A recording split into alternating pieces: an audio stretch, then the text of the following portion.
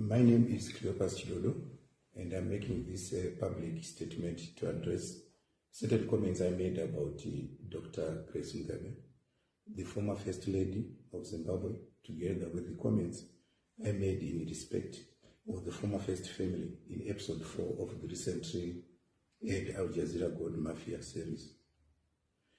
I wish to render my unconditional apologies to Dr. Grace Mugabe and to the entire former First Family for the falsehood I mentioned about them in the said episode. I wish to clarify that I never willingly presented myself to provide any information to Al Jazeera News Network. The individuals who secretly recorded me had actually approached me intending to offer my family scholarships to study abroad. It was in this meeting that the subject changed and they revealed to my shock that they actually intended on smuggling minerals out of Zimbabwe.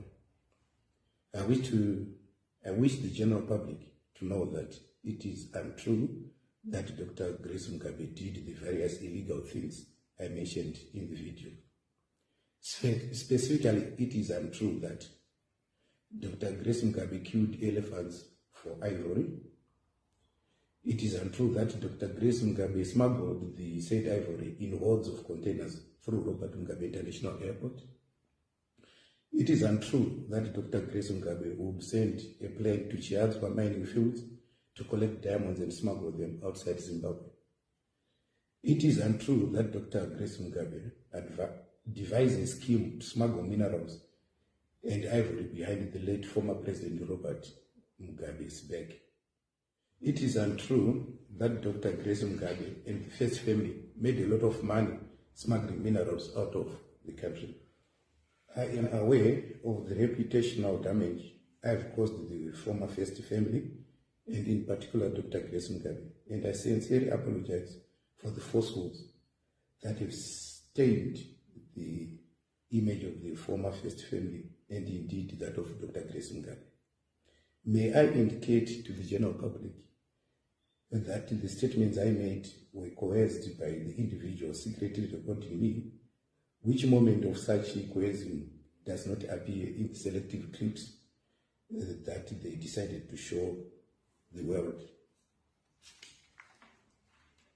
I wish to state that uh, the time of the meeting and indeed the recordings, my mental faculties had been manipulated by what I assumed to be drinks spiked by a suppressant to the extent that I do not even recall saying the said statements, even though I acknowledge that the video shows me to do so. It was unwise, immature, and extremely unfortunate that I resorted to lying, as I did whilst soiling the reputation of Dr. Grace Mugabe and her family. For that, once again, I apologize.